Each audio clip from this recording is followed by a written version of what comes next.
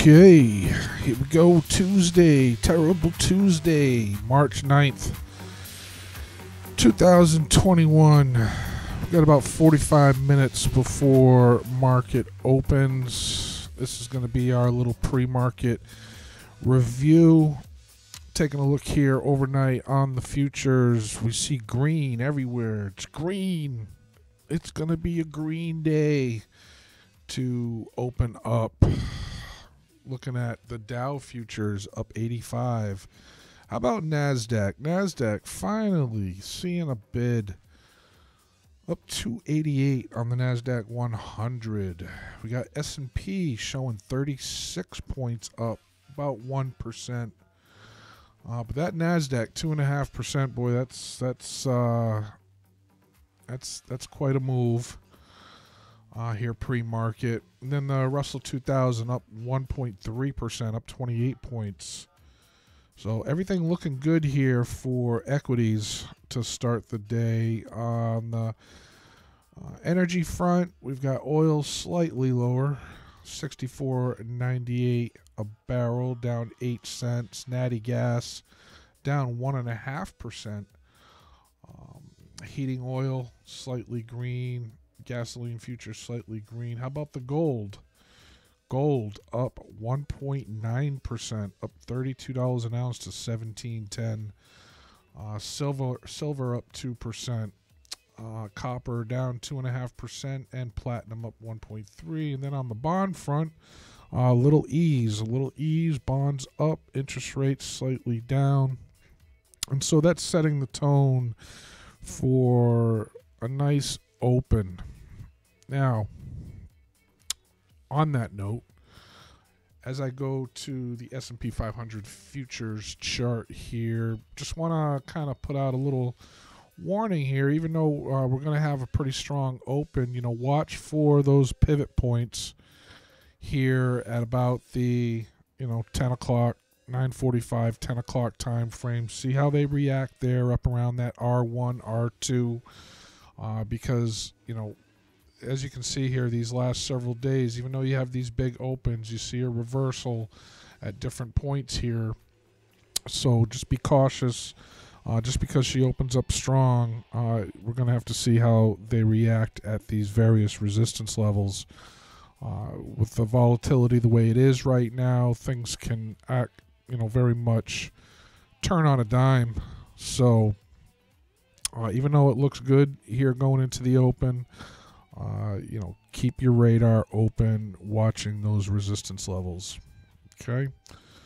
Uh, let's kind of jump in on some pre market earnings releases and some analyst comments. We'll head on over here to the alert list and start off. Let's start off with uh, how about Dick's Sporting Goods? Uh, Dick's Sporting Goods coming out with earnings Dick's reporting 243 versus the 221 estimate, about a 10% increase over the estimate. And as we turn on over to the chart, we're seeing Dick's here about 6 7% pre market down, kind of a sell on the news. Uh, kind of um, action going on here pre market. Here's your look here on the daily.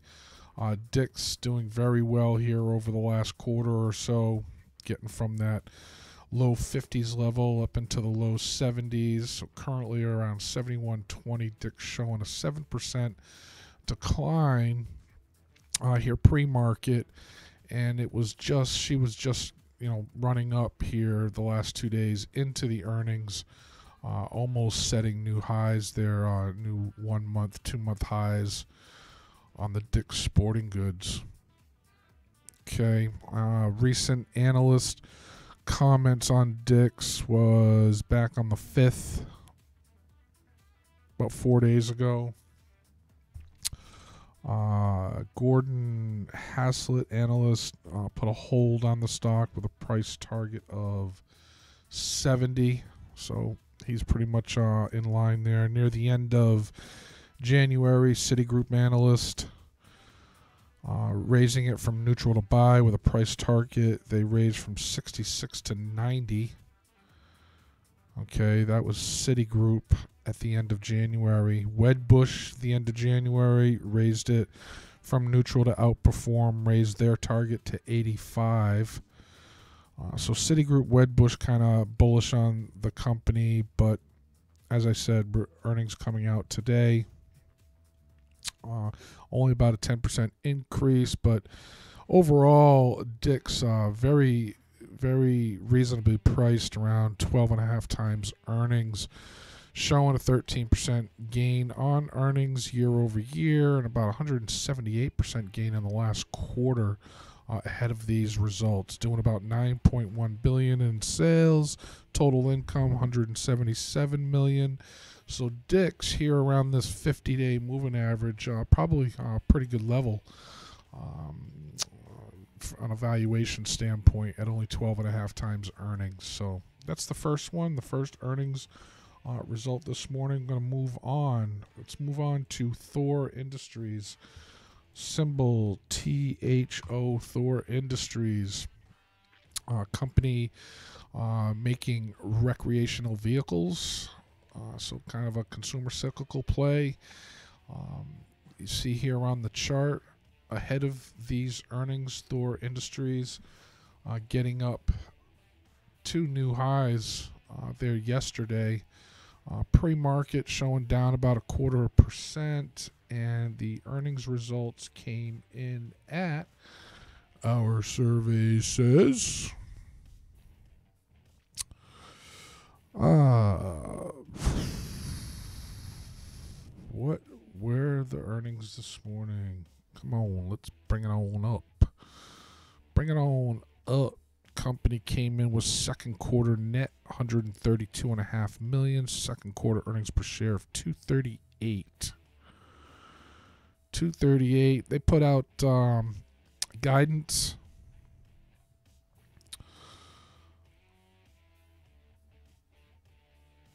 Uh, saying that their backlog is at about 10.8 billion. Uh, they see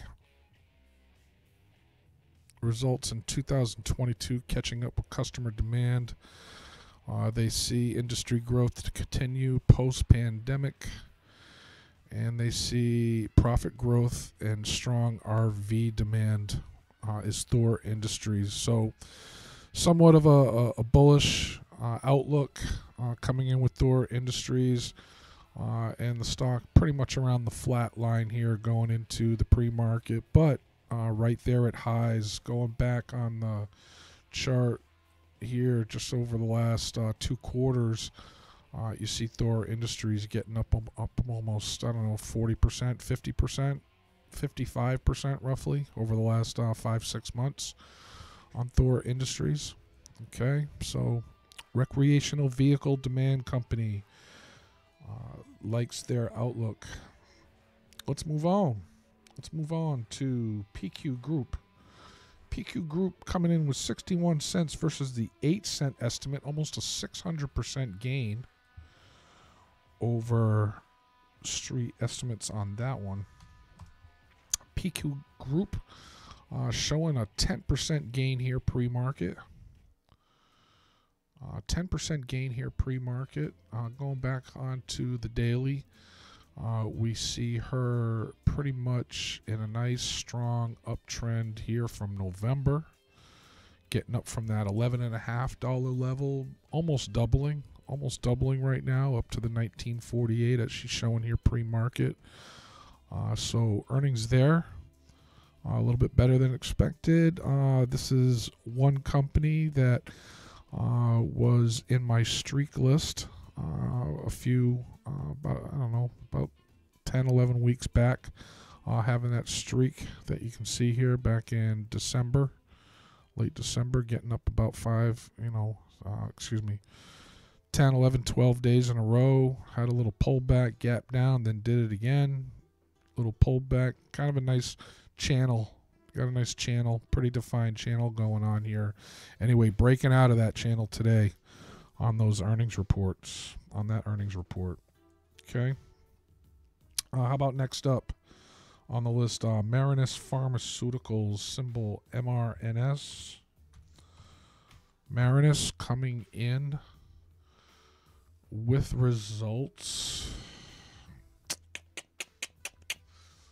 Uh, we're taking a look here. Pre-market up 1.6% on their results. Let's get the actual number. Uh, we're looking at Marinus came in with a fourth quarter loss, 55 cents. Fourth quarter revenue, 1.5 million. Uh, so it looks like a clinical stage uh, company here. Uh, not much to, to, talk about on the fundamental front. Uh, they, they did announce a new CFO, new CFO uh, coming in today. Uh, they remain on track to submit their NDA for the use of ganaxolone, which uh, treats a deficiency disorder. I don't have the real details on this. Uh, and they also say uh, one of their studies will complete enrollment this week. So, on the back of those earnings, uh, a little bit of update on trial results and companies showing up 1.67 here pre market is Marinus Pharmaceuticals. Uh, next on the pre market earnings, uh, Avadel Pharmaceuticals PLC. Avadel, A V O L is a symbol. A V O L. And I do not have any data on this. What's going on here? Hmm. Uh, could be a new issue that I just don't have. Resol- oh, AVDL. Excuse me, AVDL. There we go. Avadel. Avadel showing up 6% here pre market, up to 798. Uh, so a nice gain there with their results coming in at.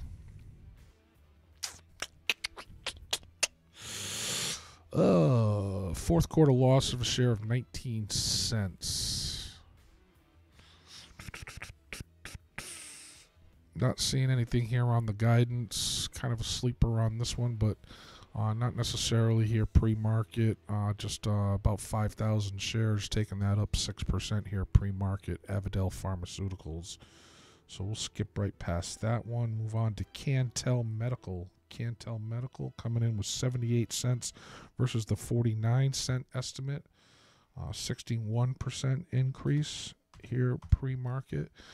Uh, so not bad results there, showing that up about 2.5% pre-market at $75 a share on Cantel Medical.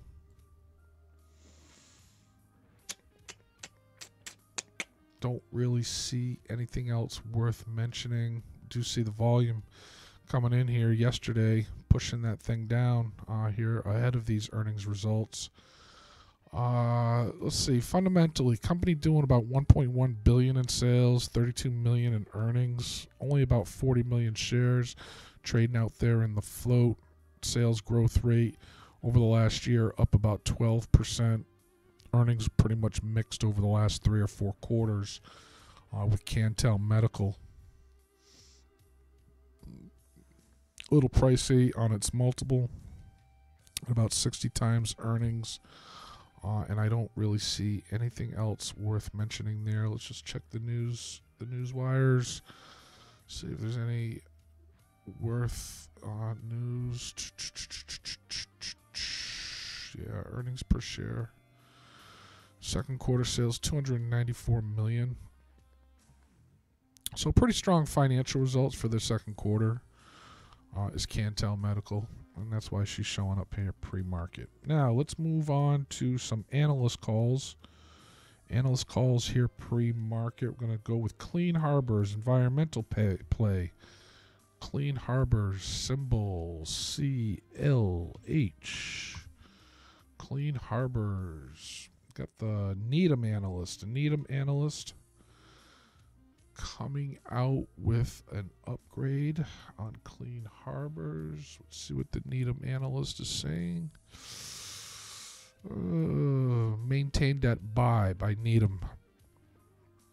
Uh, raising their target to 107 from 104. So that's from the current level of around 89.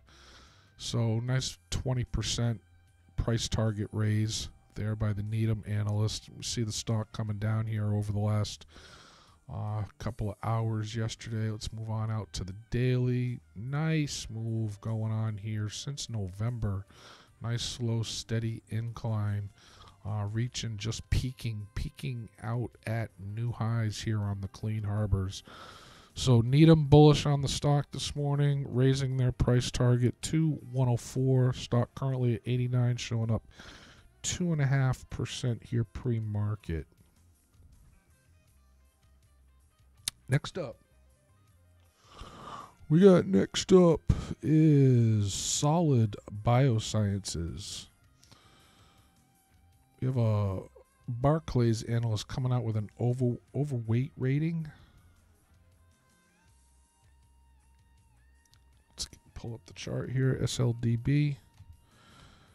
SLDB, Solid Biosciences, Barclays analyst, uh, going overweight on this one. They say so. So far, she's showing up for 4.75 percent here pre-market to 997. Uh, let's see if they put a price target on that one.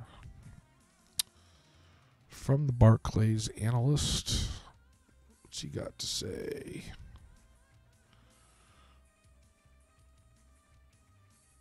Barclays. $13 share price target, so about a 30 40% move from these levels. So up 5% pre market. Barclays seeing 30 40% of upside from here. Uh, and they initiated they initiated coverage at overweight out of Barclays on solid biosciences. Uh, let's just kind of take a look at some other things going on with that one. Uh, nice move there from the October period from the four dollar level, so basically a double, say in the last six months. Uh, company a couple months back, uh, muscular dystrophy trial could be good news. Um, one analyst said Credit Suisse, Credit Suisse a couple months back put it to neutral to underperform. They adjusted their price target from 7 to 2, so Credit Suisse on the opposite side of what the Barclays analyst thinks. But anyway, $13 today was the price target out of Barclays on Solid Biosciences. Yeah, company's clinical stage, no sales, losing about 98 million, only 1.6 million shares in the float. So really nothing. Nothing out there trading. Moving on. Pure Storage. Deutsche Bank raising it from hold to buy with a price target at 27 on Pure Storage. Pure Storage currently at 2045, showing up about 5% here pre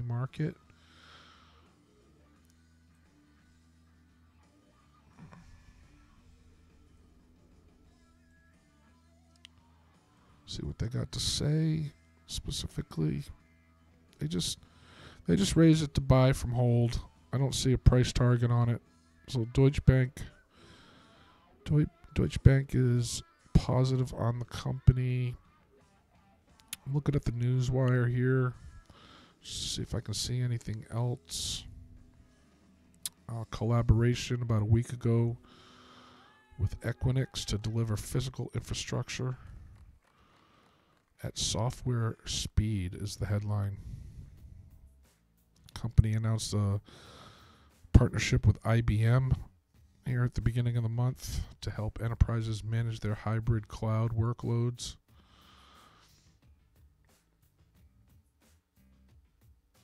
At the end of February, price target was raised by Morgan Stanley to 28 from 25. So it's about uh, 30 percent higher from here, for 35 40 percent higher. Credit Suisse raised their price target to 21 from 18 here at the end of February. Raymond James They raised it to 30 from 21. KeyBanc raised it to 32 from 23. So Pure Storage uh, has uh, a lot of bullish analyst comments. Taking a look at the daily, uh, she, you know, along with tech, took quite a hit, but she's sitting right on that 200 period moving average. So I guess from a valuation standpoint, based on uh, the analyst uh, bullish sentiment, uh, this is probably a pretty good level here at this twenty dollar level, uh, sitting right there. Company doing 1.7 billion in sales, uh, losing about 234 million on earnings. Uh, but they're seeing year-over-year growth about six percent on the top line, and on the bottom line, last quarter was a little disappointing. But anyway, I guess from a valuation standpoint, this is pretty much why the analysts are getting bullish on it from here. Good level here at 20 with all those price targets. Uh, 30, 30 or better. Uh, pure storage. All right, finally on the analyst list, how about Acadia? Acadia Pharmaceuticals, H.C. Wainwright coming out with a buy with a price target moved from 60 to 43. So that's that's a bit of a downgrade, I would say, wouldn't you think? And sure enough, that thing is down 44% here pre-market. Look at that sell-off. So, let's see uh, if there's any reasoning put behind that one by the analyst. Uh, uh, companies unlikely to receive FDA for Pimavacin label expansion from analysts. So looks like uh, an FDA decision.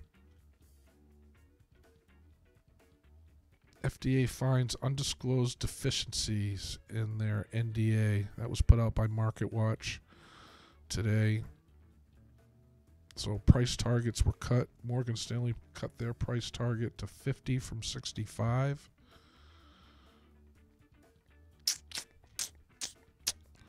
Morgan Stanley still says overweight on it, though.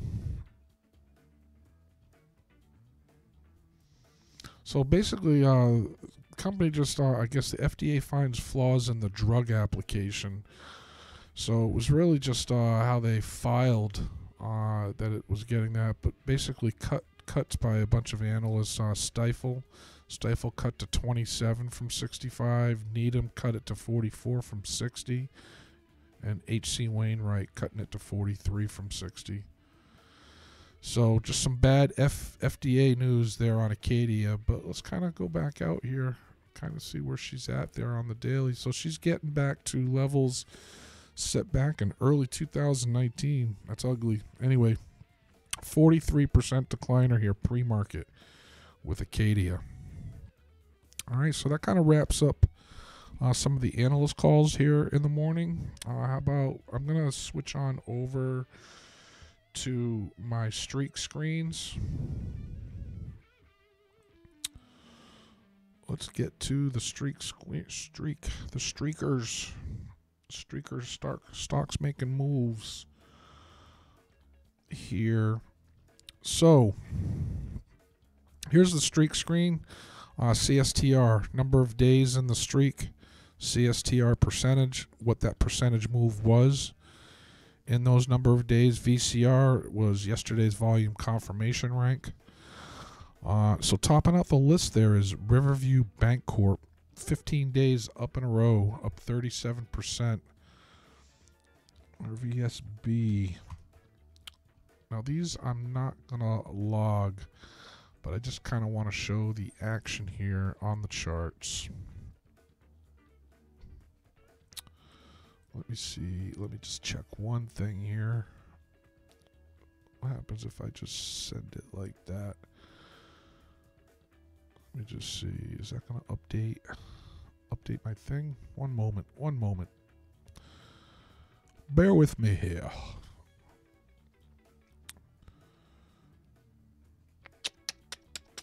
Yeah, it's going too slow. Uh, while I got this little thing running here, let me just see what happened over here. Did this thing log it? Yes, it did. So it did log it. All right, so I guess we can kind of do a couple of these. So Riverview Bancorp. Riverview Bancorp up 15 days in a row with a 37% gain, and there's your look on the chart. That's the daily chart. Uh, a lot of volume coming in there, taking that one higher. So that's what we're going to be highlighting here on these next uh, few stocks. We're looking at stocks that are streaking up. Uh, next on the list is Mednax. Mednax symbol MD. MD showing up 12 days in a row with a 32% gain. Oh, big big gap down there, back on the 16th. And now she has closed the gap with nothing but accumulation going on there on the daily. Mednax looks ugly on the fundamental front. Uh, company doing 2.2 billion, losing almost 800 million. Pretty ugly across the board there. It's kind of stretch on out, but this with those kind of fundamentals, the stock still managed to catch a bid here through the last year. But anyway, recovering back from, to where she gapped down from there on the 16th. So, as I said, 12 days in a row, up 32%. Let's skip through a couple of these. Let's look for a couple of widely held ones, maybe. How about Discovery? So, Discovery Communications, the Class A and Class K, up seven days in a row, 31%. Let's pull up uh, Discovery and media. Media, yeah, you know, look at that strong chart, real strong chart from the beginning of the year. Stock nearly tripling, nearly tripling, but just nothing but accumulation going on with Discovery. These media companies have been some of the stronger ones, uh, stronger groups uh, over these last several months for sure. So, anyway, Discovery Communications was the next one to talk about there. Let me just make sure I logged that. All right, we did. Uh, what else? Anything else in here? I mean, I have a whole bunch. Uh, in fact, uh, why don't I just uh, give you the snapshot here? You can freeze the screen if you want, just to take a look at the streaking stocks at the top of the list. So there's like your top 20 right there. I'm going to make it a special segment. That's more for uh, premium premium viewers. Uh, be a special segment on a regular basis. But here I'm giving you the snapshot. There's your top streakers. Again, CSTR, number of days up in a row. The percentage gain on those moves VCR's volume confirmation rank yesterday, okay, to whether or not basically confirm or deny that previous day's move. Uh, I find it to be a very effective screen. So, anyway, that's your snapshot there. So, that I guess is going to wrap it up here for the little pre market um, uh, summary. Uh, we'll just take a look uh, what we covered here. Take a little snapshot there also if I my computer would just stop hanging on every click. Just have too much stuff running here. Come on, baby. Stop. Stop. Stop hanging. There we go. So there's what we covered here in the pre-market segment, and I'll get this uh, video posted for replay, and I'll be back at you here on the next episode here uh, around 1.30, 2 o'clock for any midday comments. And as I said, we're looking very strong here at the open. Uh, green across the board. Uh, just be careful. Be careful. Watch those early pivot levels. Uh, S1, S2, right around that 10 o'clock, 10:30 potential reversal zone. Um, anything, anything can kind of pull that back a little bit, but it's looking like uh, the tech stocks and Nasdaq that's the encouraging sign. That's the confirmation you're kind of getting that uh, uh, those are those are all kind of bouncing off of key levels. Uh, maybe trying to fight back on those 200-day moving averages uh, across the board on the techs. So, okay, now I'm going to shut up. I'm going to leave it there, and we'll catch you on the next episode.